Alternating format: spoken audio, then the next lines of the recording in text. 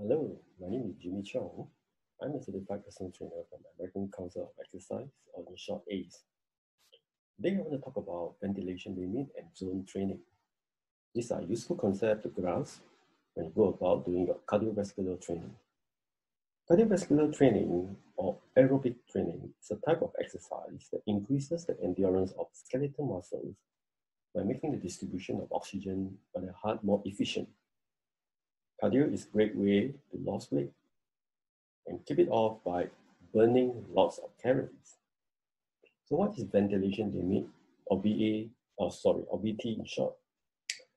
To understand this, you need to know our ventilatory system responses to the intensity of exercise. The more you stretch its limit, the more breathless you will become in that particular state of your training. It's as simple as that. Now, ventilation limit can be broken down into two tiers. First tier, that's at VT1. Most people will likely to experience difficulty in speaking during the training. When they start experiencing impossibility to speak, they enter into VT2. So as you can see, the way to get the best out of your cardiovascular training is to have a good handle over these two thresholds in order to achieve your targeted outcome.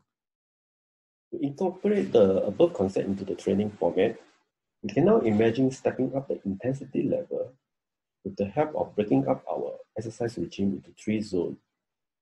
Zone 1 is where you are exercising under VT1 threshold. At zone 2, you should be somewhere between VT1 and VT2 levels. At zone 3, you will be pushing at VT2 level and above. So there you are.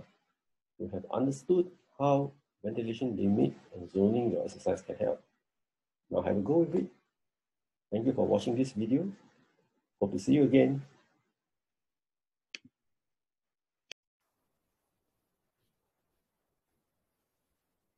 Hello again. My name is Jimmy Cheong. I'm a certified personal trainer from American Council of Exercise, or in short, ACE. Now, if you have watched my videos uh, on ventilation limit and zone training, I want to give you now an example of a running program that can just incorporate those concepts you have learned. Due to the COVID-19 pandemic, I've been devising a way to limit the exposure and get able to reach the same intensity level of my outdoor cardiovascular running regime that would otherwise incur a much longer time and miles. I chanced upon this one mile, 10 minutes run, which can pack all the G's in it. First, I start to pick a running terrain that has an elevation of say uh, 60 to 70 meters. This marked the first leg of resilient training under a stretch of 800 meter or half a mile. The return leg, which is over the same runway, becomes a rewarding experience as you will be running on the downslope. Now you need to have a fitness tracking smart device or the apps to measure all the metrics. I use Smart Health apps that's available in my Android phone. As you can see the chart on my left, I'm running at a pace of below VT1 or ventilation limit 1 at zone 1, which marks the beginning ascension of the upslope. This is the level I'm still quite comfortable to talk to my, perhaps my run mate alongside uh, my running. As soon as I cross zone 2, I will be experiencing difficulty to talk as my ascension to the top of the slope continues. All this while maintaining at a pace of slightly below 10 km per hour at the same time. The intensity will continue to build up until I reach top of the slope, which also marks the return leg of the downslope. By this time, you should already cross a VT1 and enter VT2.